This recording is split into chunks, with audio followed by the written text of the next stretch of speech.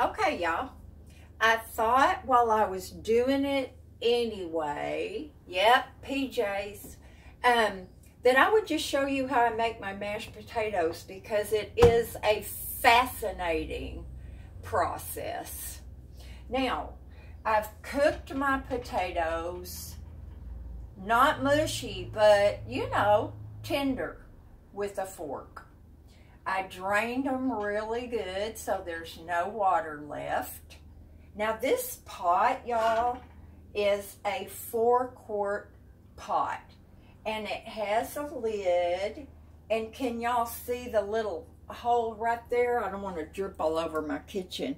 That's a little steam hole right there. So I'm going to take that off and set it aside. Now, I like this pot because it does not have any uh, Teflon or anything in it. When you're going to use an electric mixer, you don't want to use it in a pot with Teflon.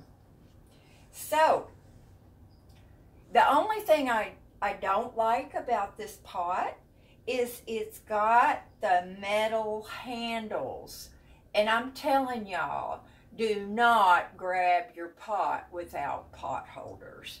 Now, I've got my um, Pioneer Woman uh, hot pad here, but I also have this um, silicone thingy.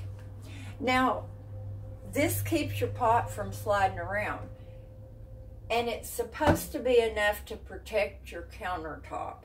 But y'all, I'm using both of them because if anything happened to my countertop, I would have a stroke, okay? So,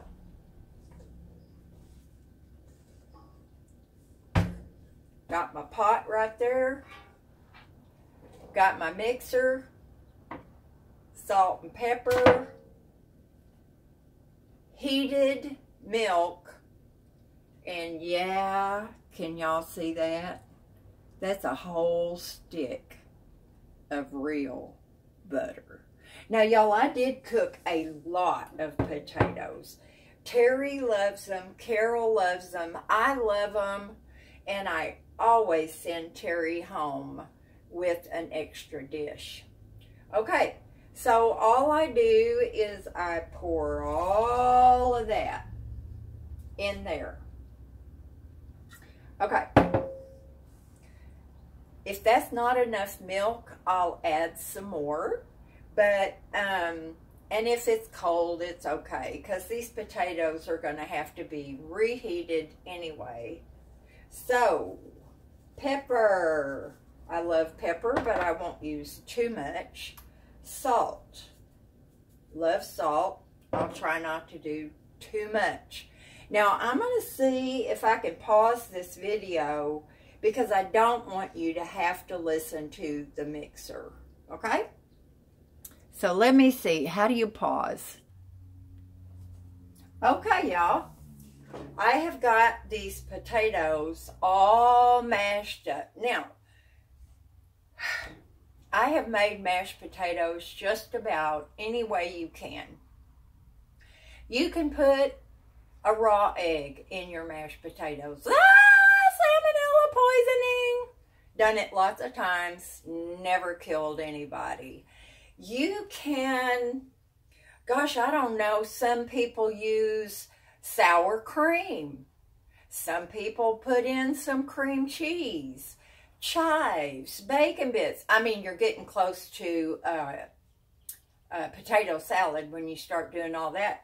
But I mean, you can do a lot of stuff with mashed potatoes to change them up.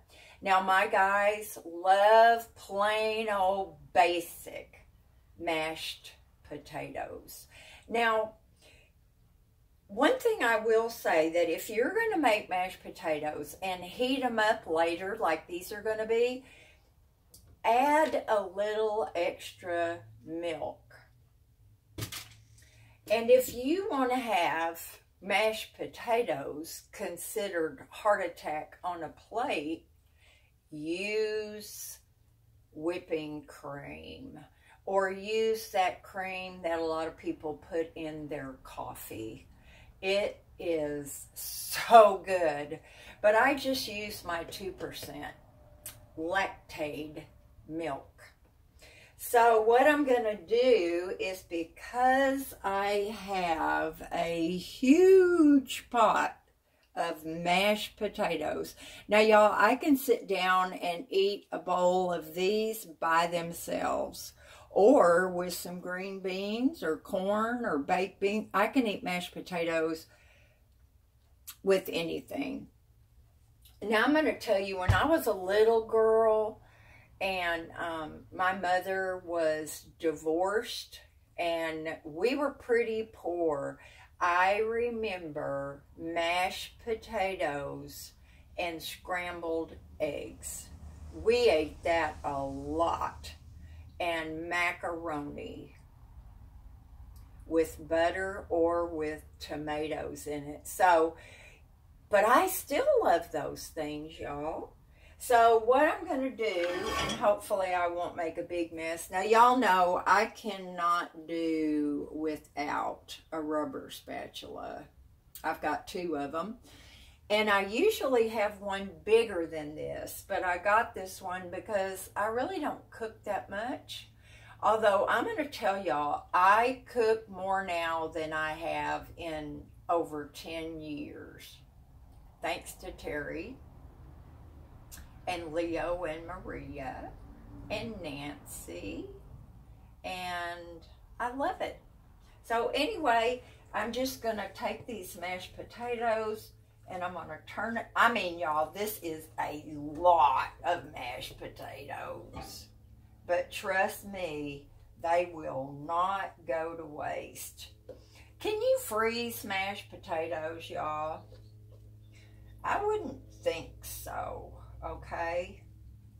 Thank goodness I've got my big, beautiful Pyrex dish because it has a cover on it.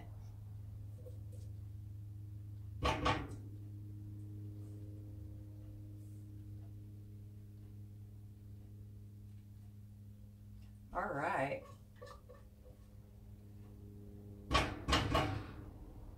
Now, you want to get water in something like that really quick because if you don't, that starch will be hard to get off of your pan. So when I'm cooking, I keep hot soapy water in my sink. Now, mmm. Oh my gosh, y'all, these are so good. They're as good as an ice cream cone. Mm. But I will tell you, this is not nearly enough salt for me, but I'm going to let it. Yeah, I have not done anything to myself this morning, but um, I'd have to add salt to mine. But I'm everybody salts and peppers their food before they even taste it. So I try to keep it just a little bit bland so people can do that. Mmm, y'all, I wish I could let you taste this. I mean, a stick of butter. that is so gross. Okay, but now you can see I have a bowl. Y'all, I used to have a set of this too, and it's so beautiful. And I forget what the name of the pattern is. I never used plastic if I could help it. Now,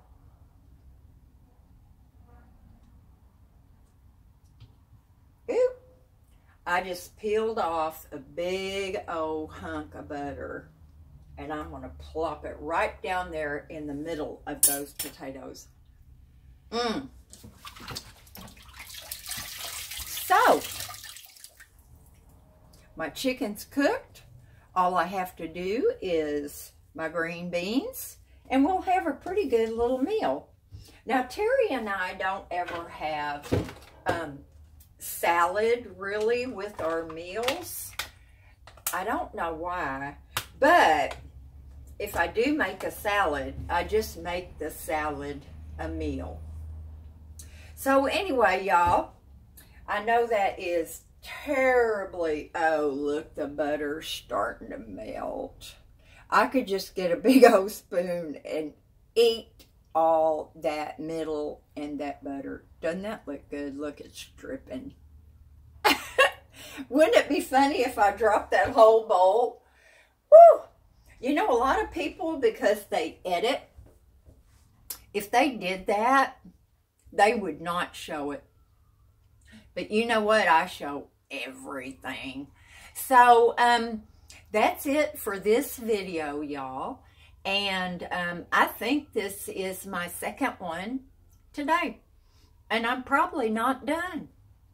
So y'all do something fun today. And I can guarantee you that if you were here and you could taste these mashed potatoes, it would be your something fun.